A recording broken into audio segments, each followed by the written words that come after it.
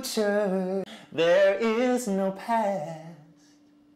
I live this moment as my life. Hello, I'm Will Blunderfield. I'm a Vancouver yogi, and um, I've just been told I'm a rock star persona, which I really like.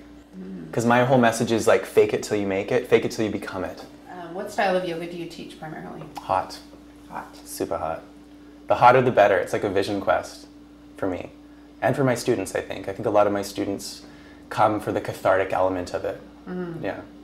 So whether it's hot or yoga ballet or uh, even Y Ride, which is a fusion of indoor cycling and yoga, it's always about catharsis, moving forward through feeling it to heal it. My life is kind of like a musical. Um, I sing all the time. And uh, I think speaking is a form of singing. My students have said, like, sometimes it feels like you're singing when you're speaking in your class. And um, I thought that was an interesting note. I think it, it is, mm, you know, it's, it's all, everything is about self expression, I believe, these days. And I think that if we give people greater permission to express themselves, the world will be a lot safer and more grounded and relaxed. The pain will ease if I can learn.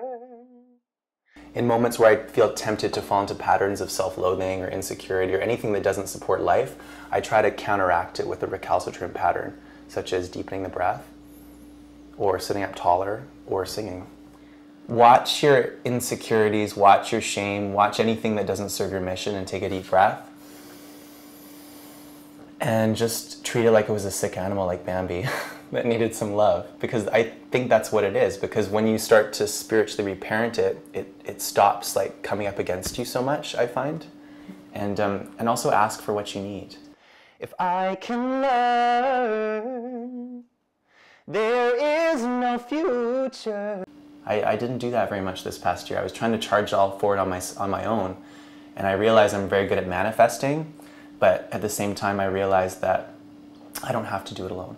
I can ask for help. I can, I can, um, I can reach out and grab what I need to keep thriving. Because my intention is to spread love. So what, who do I need to be right now to spread love? I'm going to be that version. Do you know what I mean? Because that feels better. It feels better than than trying to be something for somebody else. I think deep down, the people that you're that you're serving, they want you to be who you need to be for you, because they're mirrors of you, and that inspires them to do the same. How can we maximize the pleasure that we can experience in this moment?